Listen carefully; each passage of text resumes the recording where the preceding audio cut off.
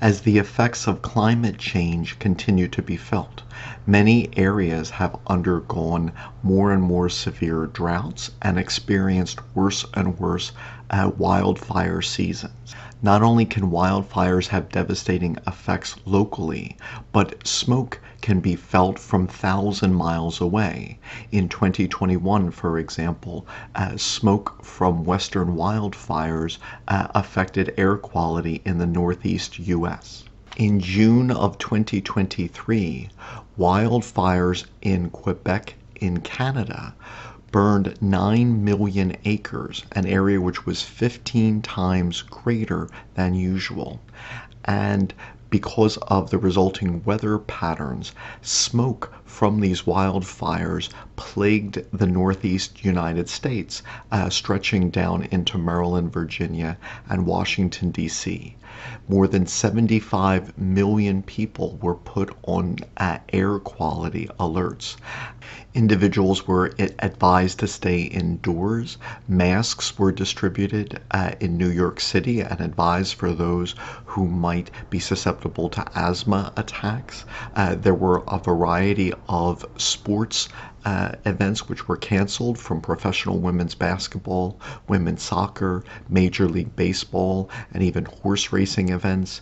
Many schools canceled, canceled all extracurricular uh, activities because of the effects.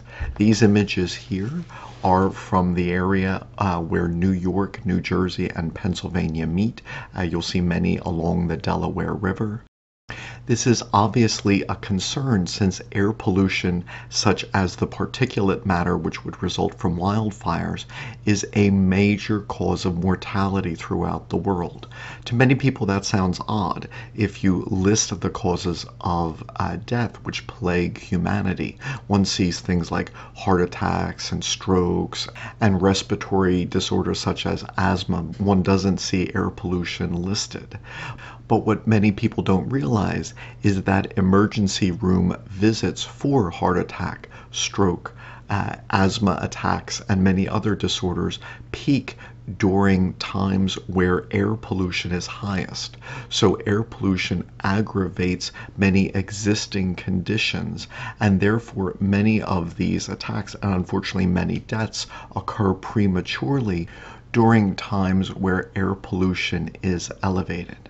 So, as climate change worsens uh, the frequency of wildfires, the negative health outcomes will continue to be felt, including in areas which are hundreds and thousands of miles away from the uh, wildfires because of the spread of this smoke.